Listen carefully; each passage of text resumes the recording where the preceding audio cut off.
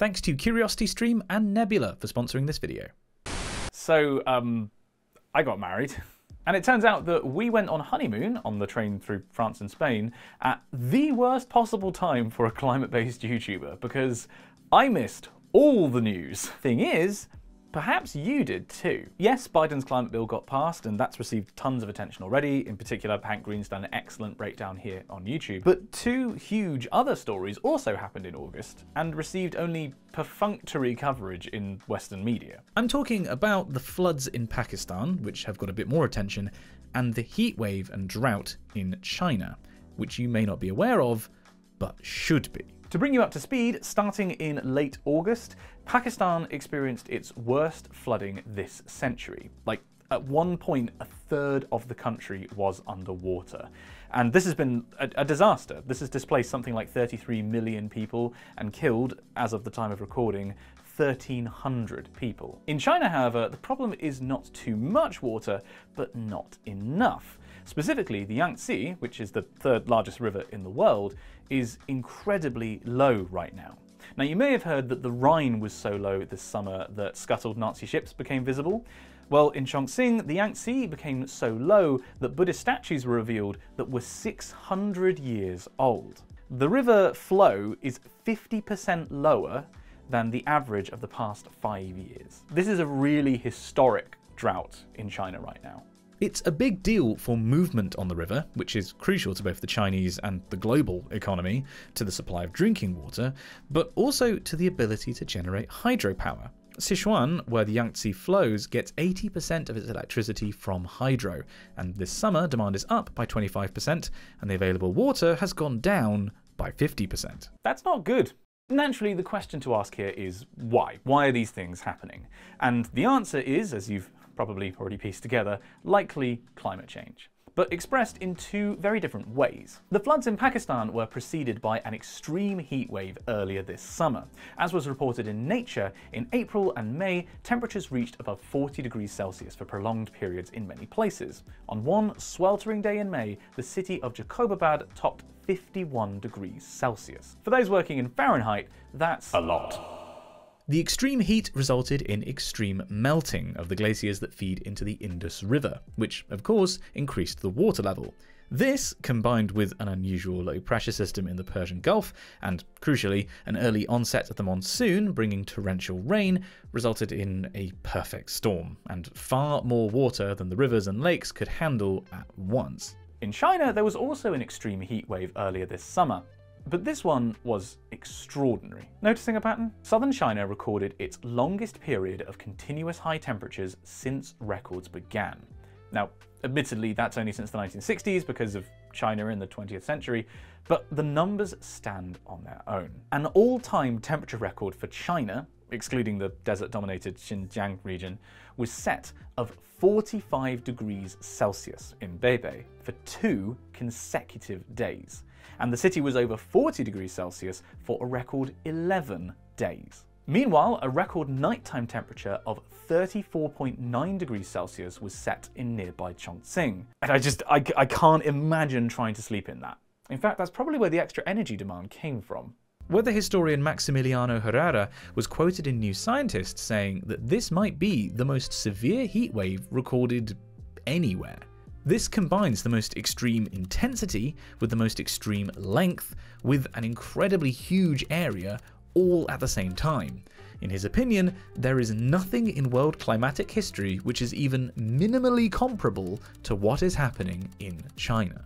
Unlike in Pakistan, however, the extreme heat didn't result in extreme rain. In fact, the opposite happened, and rainfall dried up as did the nation's rivers. Blaming both of these events, which are kind of polar opposites to each other, on climate change then sounds a little nonsensical, but it is actually what we would expect to happen in a warming world. The thing to remember about the climate crisis is that it's not that the Earth's temperature is increasing the amount of energy in the Earth system is increasing. Now that largely means that temperatures will increase, but they won't increase uniformly, you know, the same everywhere. Because by adding more energy to the system, you're changing how that system works. And based on our current understanding, we think that that means more likely and more intense maxima of temperatures. In other words, heat waves. Further, for each degree Celsius the air warms, it can hold about 7% more moisture. As the Earth has warmed by about a degree Celsius since pre industrial times, we have measured an increase in the amount of water held in the Earth's atmosphere. That has two important implications. Firstly, because water is a greenhouse gas, the increase in humidity amplifies any warming caused by carbon dioxide, so it's a positive feedback. And secondly, more water in the atmosphere means that more precipitation, rainfall, is possible. But because the amount of energy in the system has increased, that doesn't mean that precipitation will just increase everywhere. Changes in precipitation patterns mean that while many areas will get wetter, some will get drier. And we can expect an increase in extremes on both ends, both wet and dry, as the planet warms. So while these events are shocking, they're not unexpected. But that's only if you hear about them in the first place. In covering the news, obviously there's a bias towards stories and topics that affect the viewer or the reader. So here in the UK, we mostly hear about news in the UK, unfortunately, and only hear about events in Pakistan and China if it's pretty important stuff. And I recognise that if we reported on all the bad stuff happening in the world, we'd probably all find it hard to get out of bed in the morning because it would be overwhelming. But at the same time, I'm a little aghast at how little coverage the Chinese heatwave, and to a lesser extent, the Pakistani floods, have received. These are huge climate events, and they do affect you. They affect you through how interconnected the world economy is, and specifically because of how much manufacturing the West has outsourced to China, and that is going to be affected by this. And it affects you because you're living in the same atmosphere as China and Pakistan, and in a changing climate that could see similar events happening to you next. But perhaps most importantly, they affect you because you're a human being too. The reason I wanted to make this video is because on Twitter, in response to news of this heatwave, many people reacted with glee, saying that it's good that China is suffering under the climate crisis that it has caused, that this was some kind of justice. Firstly, this to me is an unfathomably callous attitude. I mean, if we're talking about Chongqing being nearly 35 degrees Celsius at night, that's a city the size of London, full of people just like you trying to live their lives. Like the misery, the sheer misery that this heatwave has inflicted on people, let alone the excess deaths, which uh, obviously we're not close to calculating yet. That misery has afflicted 900 million people. Again, people like you. This is awful. And secondly, who is responsible for the climate crisis? Not China. What matters when it comes to trapping more energy in the Earth's atmosphere is the total amount of carbon put into it. And when looking at the cumulative emissions of CO2 to date, China is responsible for about 12.7% of all the carbon put into the atmosphere to date. Compare that to Europe's 22% and the USA's 25%. Yes, China has the largest emissions of any country right now, but each Chinese citizen produces half the CO2 of an American. There just so happens to be over a billion Chinese citizens. So to wish harm on one of them for causing climate change isn't just morally wrong, it's factually wrong. I think one of the reasons why people may have this attitude is because quality coverage of the climate crisis can be hard to come by. I'm, I'm guessing, for example, that a lot of this video was news to you. So if you, like me, would like to stay up to date on this physical side of the climate crisis, then I have some recommendations. I've mentioned them before, but Carbon Brief is, I think, the best website for climate news, and you can sign up for their multiple newsletters on different aspects of the crisis.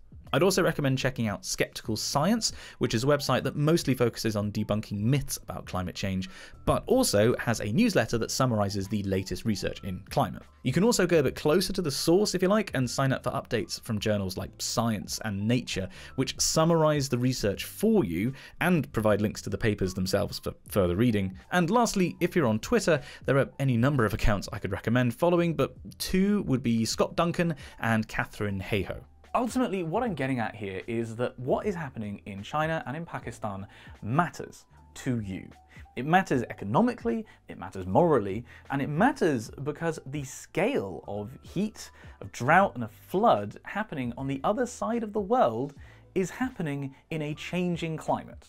A climate that you share. The way that we talk about stories from this changing climate is important. In response to a global threat, we cannot afford to be tribal. We cannot afford to disregard data. What is happening to people on the other side of the world is relevant to you. And I think you owe it to yourself to learn about their stories. Of course, somewhere else that you can learn about this changing climate is from myself, from Our Changing Climates, from Real Engineering, from Second Thought, and from many other creators on Nebula, who have kindly sponsored this video. Nebula, as you've probably heard by now, is the streaming service with over half a million users that is owned and operated by a group of educational YouTubers, including me.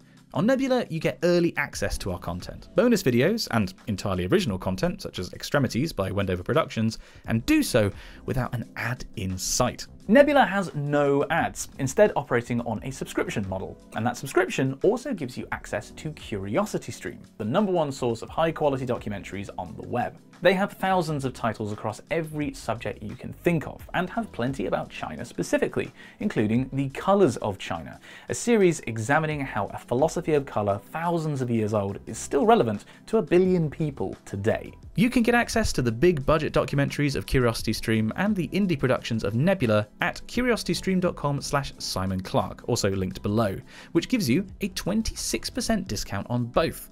That's just over a dollar a month for the best bits of YouTube, without the ads, and an endless supply of thought provoking documentaries for all ages. With thanks to CuriosityStream and Nebula for sponsoring this video. Thank you very much for watching this video. Half of the sponsorship money from it is going to be donated to relief efforts in Pakistan. I'll also include a link down there in the description if you would like to donate to try and help people overcome this disaster. If you'd like to hear more about what happened with the wedding and just generally how I make these videos, then you can watch the behind the scenes vlog available on my Patreon. Patrons get access to a behind the scenes vlog every month, as well as getting early access to these videos, and now a couple of votes every now and again, choosing a topic for a video. So if that all sounds good, good and you'd like to support this channel, please do check out my Patreon, also link below. Here's some recommended viewing next, and I hope that you enjoyed this video and took something away from it. Please do pop it a like if you did. And that just leaves me to say thank you again for watching. I'll see you in the next one.